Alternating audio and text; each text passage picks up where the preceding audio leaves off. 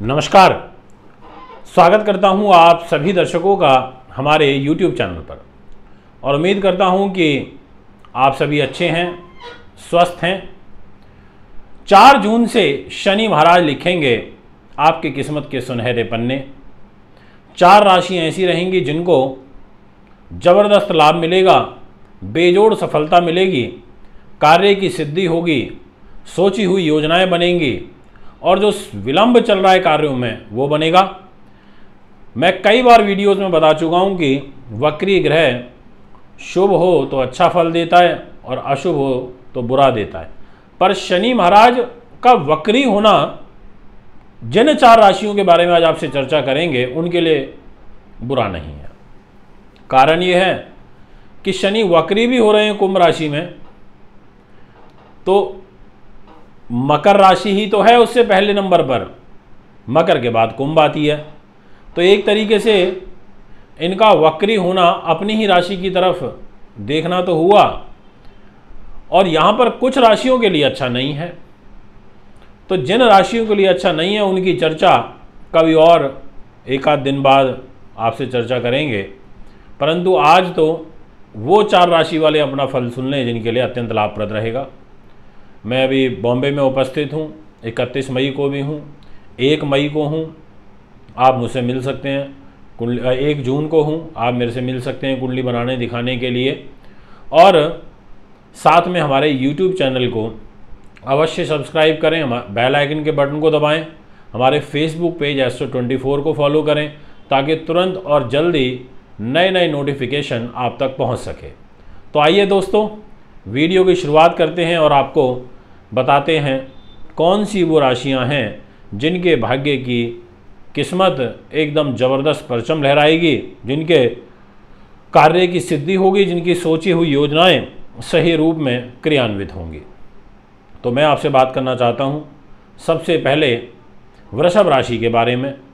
जितने भी दर्शक इस समय मुझे वृष राशि के सुन रहे हैं, आप ध्यान से सुनना।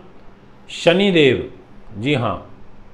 जो एक ऐसे ग्रह हैं जिनका हमारे जीवन में बहुत ज़्यादा प्रभाव पड़ता है शुभ व अशुभ रूप में।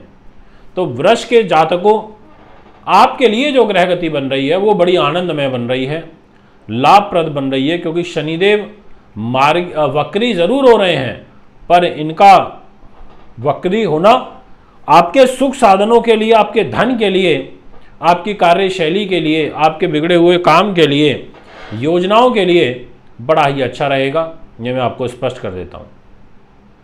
पंचम भाव में हो रहे हैं तो इसलिए थोड़ा गर्भवती महिलाएँ अवश्य ध्यान रखें।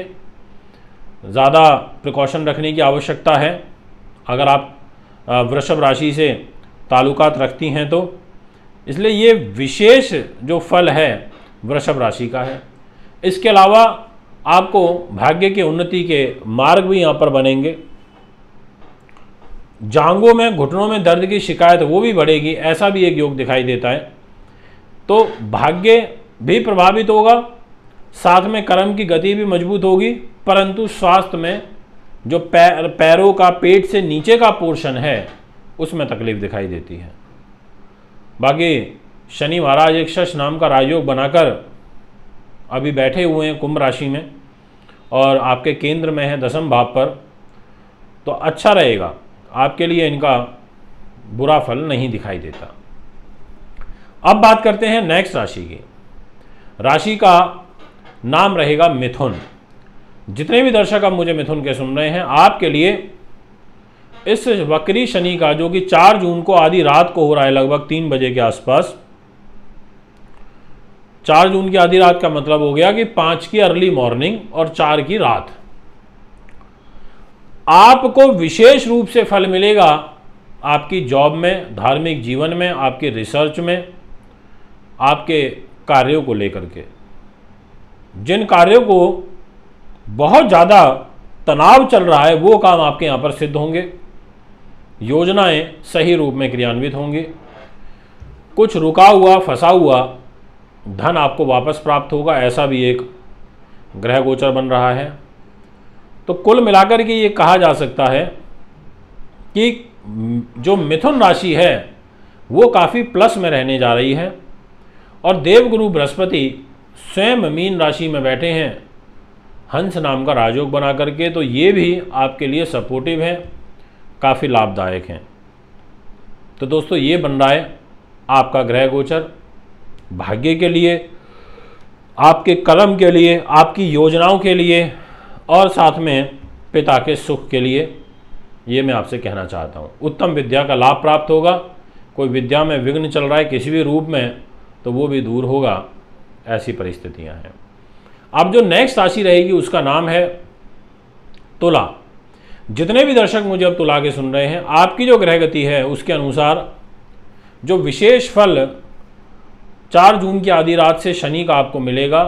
वो है अकस्मात धन लाभ के अवसर मिलना, कोई फंसी हुई पेमेंट मिलना, सुख साधनों में बढ़ोतरी होना प्रॉपर्टी से संबंधित जो डिस्प्यूट चल रहे हैं उसका दूर होना। ऐसा एक ग्रह गोचर यहाँ तुला के लिए बन रहा है। आपकी राशि के स्वामी शुक्र बनते हैं और शुक्र के शनि घनिष्ठ मित्र हैं। जो पहले 16 दिन आपके लिए रहेंगे, वो विशेष रूप से लाभदायक हैं। इन पहले 16 दिनों में 4 जून से और नेक्स्ट 16 डेज़ जो आप करना चाहते हैं, बेझिझक होकर के कर सकते हैं। विशेष रूप से प्रॉपर्टी से रिलेटेड लेन देन और यदि कोई आप किसी कार्य की नींव रख रहे हैं तो उस दृष्टिकोण से भी समय आपके लिए अच्छा दिखाई पड़ता है। दोस्तों, अब बात करते हैं नेक्स्ट राशि की और वह रहेगी मकर। जितने भी मकर के जातक मुझे सुन रहे हैं, आपके लिए स्वास्थ्य दृष्टिकोण से तो ये शनि की वक्री चाल अच्छी नहीं है, परंतु धन के लिए अच्छी है, परिवार के सुख में कमी करने वाली रहेगी, और साथ में वाणी पर विकार देने वाली रहेगी, इसलिए वाणी पर संयम रखना है। सोच समझकर योजनाबद्ध तरीके से कार्य करना है। बहुत ज़्यादा शीघ्रता किसी भी कार्य को लेकर के नहीं मचानी है आपको। इस बात का ध्यान रखते हुए आगे बढ़ना है। मकर राशि के लिए ये वक्री शनि विशेष रूप से आर्थिक समृद्धि का योग लेकर के आएँगे।